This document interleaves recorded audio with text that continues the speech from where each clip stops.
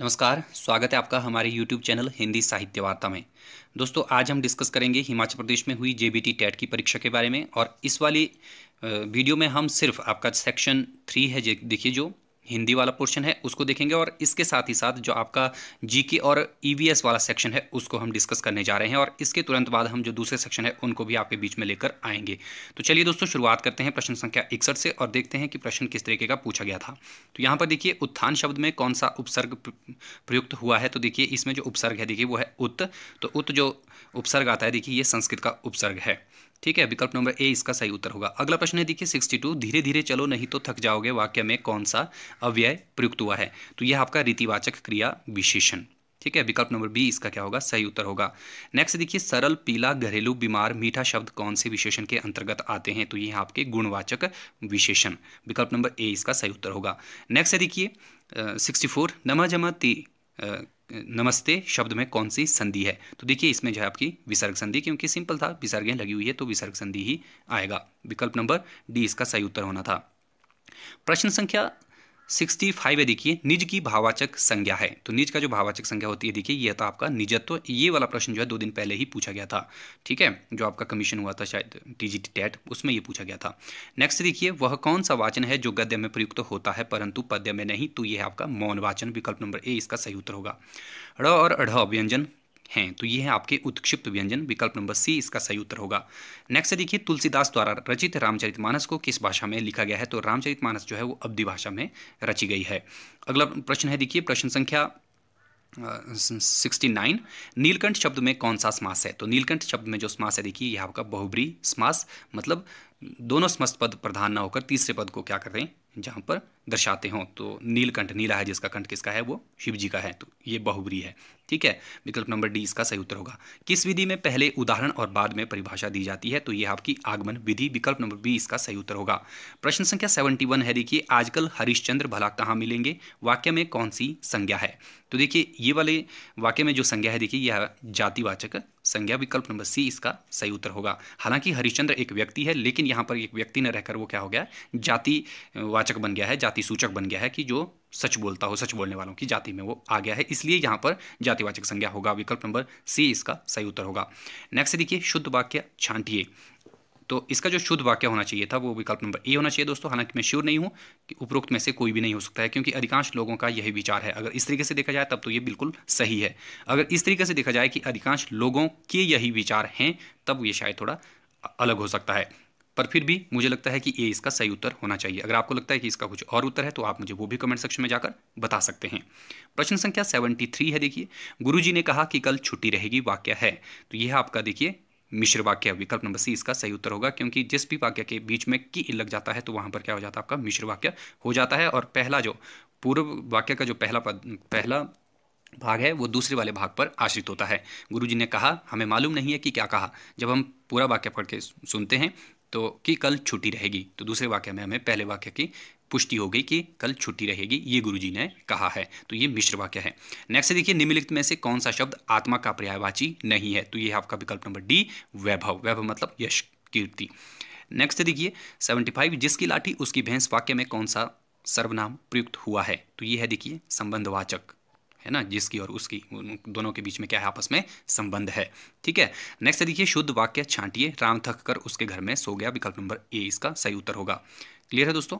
उसके बाद है देखिए सेवेंटी सेवन प्रश्न नंबर पंचक्की में कौन सा समास है? तो देखिए पंचकी में जो समास है, वो है आपका तत्पुरुष समास, पानी की चक्की, है ना? नेक्स्ट देखिए, हे भगवान, रक्षा करो, वाक्य में कौन सा कारक प्रयुक्त हुआ है? तो इसमें जो कारक प्रयुक्त हुआ है देखिए, वो हुआ आपका संबोधन कारक। ठीक है? विकल्प नंबर सी इसका सही उत्तर होगा। सेवेंटी नाइन है देखिए, हिंदी की चिंदी निकालना मुहावरे का अर्थ है। किसी बात की तह तक सॉरी बात का बतंगड़ बनाना विकल्प नंबर सी इसका सही उत्तर होगा।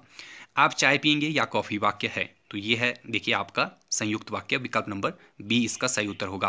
प्रश्न संख्या एटी वन है देखिए, शतरंज का खेल लड़कियाँ शतरंज का खेल देख रही हैं। रेखांकित क्रिया का भेद है। तो यह आपका अकर्मक क्रिया। विकल्प नंबर ए इसका सही उत्तर होगा। बंदव गुरुपद पदम पुरागा सरुचि सुवास, सरस अनुरागा। उपयुक्त पंक्तियों में कौन सा छंद प्रयुक्त हुआ है? तो देखिए, इसमें जो छंद प्रयुक्त हुआ है, वो हुआ आपका विकल्प नंबर बी, चौपाई। ठीक है? वाक्यांश के लिए एक शब्द लिखिए, अमृत के समान वचन, वचनामृत। विकल्प नंबर डी इसका सही उत्तर होगा। नेक्स्ट है देखिए 84 निम्नलिखित में से कौन सा विराम चिन्ह उदाहरण चिन्ह है? तो विकल्प नंबर सी इसका सही उत्तर होगा उदाहरण चिन्ह है। बी कोष्ठक है ए आपका पूर्ण विराम है और डी आपका अर्ध विराम है। ठीक है? तो सी इसका सही उत्तर होगा। प्रश्न संख्या 85 देख लेते हैं, देखिए। काली घटा का घमंड घटा, पंक्ति में कौन सा अलंकार है? तो ये आपका यमक अलंकार है इसमें। ठीक है, विकल्प नंबर इसका सही उत्तर होगा। कविता हमारे परिपूर्ण क्षणों की वाणी है, किसके मत अनुसार है? तो ये बात कही है कविता के संबंध में सुमित्रा नंदन पंत जी ने। विकल्प नंबर बी इसका सही उत्तर होगा। और पंत जी को प्रकृति का सुकुमार कवि भी कहा जाता है। देखिए, प्रश्न संख्या 87 है, वह पढ़ता तो पास हो जाता। वाक्य में कौन सा काल है? तो ये आपका हेतु हेतु मद भूत। विकल्प नंबर बी इसका क्या होगा? सही उत्तर होगा। प्रश्न संख्या 89 है, देखिए, अरे तुम आगे वाक्य में कौन सा कारक प्रयुक्त हुआ है? तो देखिए, इसमें जो कारक प्रयुक्त हुआ है, वो है आपका विकल्प नंबर सी, संबोधन कारक।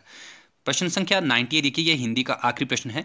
लाख का घर राख होना मुहावरे का अर्थ है तो इसका जो सही उत्तर होगा, देखिए, विकल्प नंबर ए, धनी का निर्धन हो जाना। विकल्प नंबर ए, इसका बिल्कुल सही उत्तर होगा। तो हिंदी वाला पोर्शन यहीं पर संपन्न होता है। अब देखेंगे हम आपका जो जीके और ईवीएस वाला पार्ट है उसको।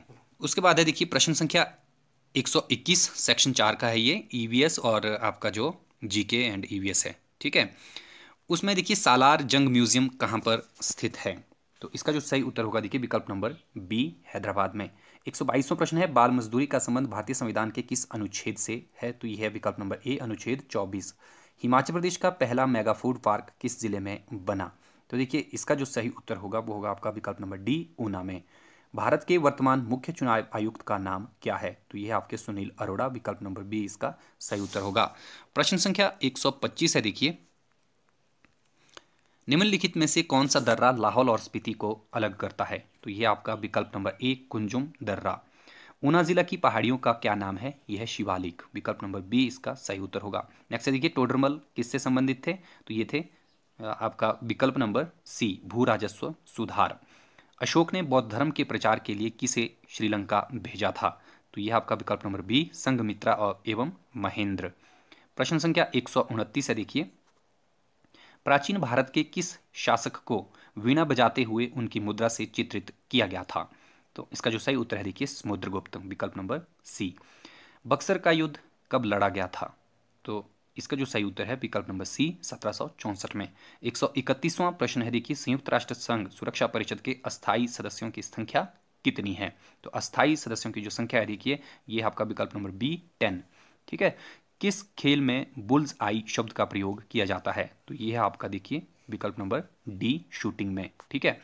एक प्रश्न है, देखिए, हिमाचल प्रदेश के किस ज़िले में केंद्रीय विश्वविद्यालय का निर्माण किया जाएगा। तो यह आपका जिला कांगड़ा, विकल्प नंबर बी, सही उत्तर होगा। पंचतंत्र की कथाओं का संकलन किसने किया है? तो ये किया है देखिए, विकल्प नंबर सी, विष्णु शर्मा ने, पंचतंत्र। ठीक है? एक प्रश्न है, ज्ञानपीठ पुरस्कार किस क्षेत्र में प्रदान किया जाता है? तो यह आपका साहित्य के क्षेत्र में प्रदान किया जाता है। ठीक है? निम्नलिखित में से कौन सी चट्टान संगमरमर में परिवर्तित होती है। तो देखिए, विकल्प नंबर बी है, चूना पत्थर और यही चट्टान जो है संगमरमर में परिवर्तित होती है। प्रश्न संख्या एक है, देखिए, मनुष्य के शरीर का सामान्य तापमान होता है। तो यह आपका विकल्प नंबर सी, देखिए 98.4 नेक्स्ट, देखिए, भारतीय अर्थव्यवस्था है। तो इसका जो सही उत्तर होगा, देखिए, विकल्प नंबर डी, मिश्रित।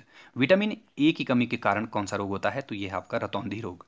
भारत के सर्वोच्च न्यायालय के प्रथम न्यायाधीश कौन थे? तो यह है आपके एच जे कनिया विकल्प नंबर ए इसका सही उत्तर होगा। प्रश्न संख्या एक से देखिए। ये कहते हैं कि पोलेंड्री इन हिमालयाज किताब किसके द्वारा लिखी गई है? तो इसका जो सही उत्तर होगा, देखिए, ये होगा आपका विकल्प number B doctor Yashwant Singh Parmar. मानव की लाल रुधिर कणिकाओं या आरबीसी जो रेड ब्लड सेल्स होती हैं, कि आयु, औसत निम्नलिखित में से कितनी होती है? तो देखिए, इसका जो सही उत्तर होगा, ये होगा आपका विकल्प नंबर डी एक सौ बीस दिन। झांझर किस ज़िले का प्रसिद्ध नृत्य है? तो ये है आपका चंबा ज़िले का। नेक्स्ट है पबर और गिरी सहायक नदियाँ हैं।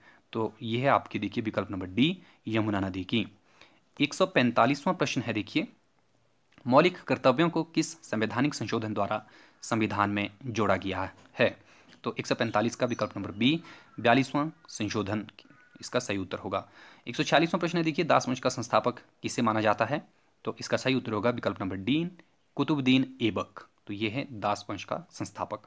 संसद के संयुक्त अधिवेशन को कौन संबोधित करता है? तो ये है राष्ट्रपति, विकल्प नंबर ए। नेक्स्ट देखिए, पीली क्रांति किससे उत्पादन, किसके उत्पादन के लिए प्रयुक्त होती है? तो यह होती है आपकी तिलहन के लिए, विकल्प में तिलहन कहीं नहीं है तो इसका सही उत्तर होगा विकल्प नंबर डी, एक सौ अड़तालीस का डी। प्रश्न संख्या एक सौ उनचास से देखिए, कौन सी पर्वत श्रृंखला एशिया और यूरोप को अलग करती है? तो यह आपकी, देखिए, विकल्प नंबर ए, इसका सही उत्तर होगा यूराल। क्लियर है? आखिरी जो प्रश्न है, देखिए, इस वाले पोर्शन का, वो है राष्ट्रीय मतदाता दिवस हर वर्ष कब मनाया जाता है? तो ये है आपका, देखिए 25 जनवरी, विकल्प नंबर डी इसका सही उत्तर होगा। तो ये थे दोस्तों हिंदी और जो जीके के प्रश्न थे, उनको मैंने आपके बीच में रखा है और इसके तुरंत बाद हम दूसरे जो सेक्शन है, वो आपके बीच में लेकर आएँगे। वीडियो कैसा लगा? आपको ज़रूर कमेंट सेक्शन में जाकर ये बताना है। अगर मुझसे कहीं गलती हो गई तो मैं चाहूँगा कि आप भी उसका सही उत्तर मुझे बताएँ, ताकि हर एक विद्यार्थी तक सही उत्तर पहुँच सके। फ़िलहाल अभी के लिए इतना ही दोस्तों, जल्दी हाजिर होंगे, तब तक के लिए शुक्रिया, जय हिंद।